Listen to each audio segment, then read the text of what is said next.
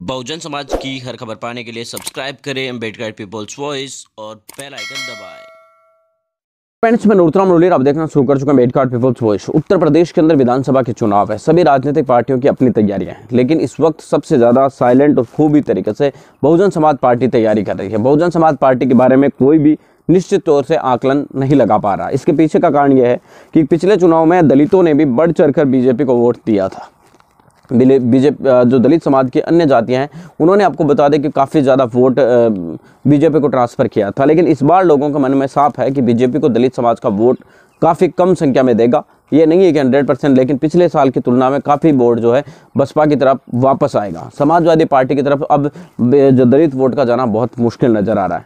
Bahujan Samaj party के बारे में कोई भी कुछ नहीं कह पा रहा है कि उसका कैडर वोट कितना इस बार उनके पास आता है और दूसरी जातियाँ उन्हें कितना वोट देती है, इसी के आधार पर पूरा गणित खिला, खेला हुआ है। दरअसल आपको बता दें कि बहुजन समाज पार्टी की सुप्रीमो मायावती जी अगर इस विधानसभा चुनाव के अंदर कितनी सीटें लेकर आती है, यह तो अलग बात है। सर, पार्टी की तरफ़ से 200 प्लस सीटें के दावे किए जा रहे हैं, लेकिन अगर बहुजन समाज पार्टी की सुप्रीमो मायावती जी पिछले चुनाव की जो आंकड़े आए, उनसे अगर तीन चार गुना भी अगर टिकट लेकर आ जाती है, सीटें लेकर आ जाती है तो उत्तर प्रदेश की राजनीति के अंदर वो एक बहुत बड़ा तहलका मचा सकती है। और पहले भी आपको बता दें कि उन्होंने कई बार ऐसा हुआ है कि कम सीटें लाकर भी उत्तर प्रदेश की सरकारें उन्होंने चलाई है।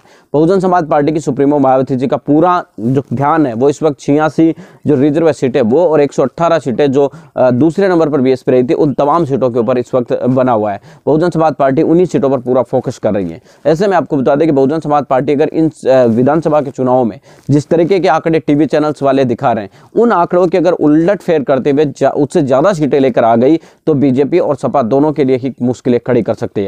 दरअसल आपको बता दें कि एक बात तो साफ़ है कि ओपिनियन पोल जो टीवी पर दिखाए जाते हैं, वो ओपिनियन पोल पिछले पाँच सालों में एक भी ओपिनियन पोल ऐसा नहीं है जिसके मुताबिक आपको बता दें कि आंकड़े आए मुताबिक तो आना दूसरी बात है, आपको बता दें कि उन आंकड़ों के नज़दीक नज़दीक भी किसी भी जो है चुनाव के नतीजे सामने नहीं आए। लेकिन उसके बावजूद भी आपको बता दें कि टीवी की तरफ़ से लगातार इस तरीके के सर्वेज है, वो निकाले जाते हैं।